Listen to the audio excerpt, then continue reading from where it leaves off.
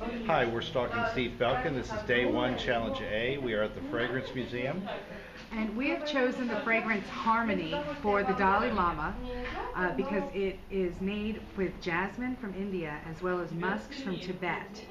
And we thought it was really cool. One of the things that on display here is this beautiful Asian box that folds into a suitcase and then out again into a display that was used to introduce cologne to the Far East. And because there's probably no other cologne for the Dalai Lama, we think we've got the market cornered on this one. Definitely.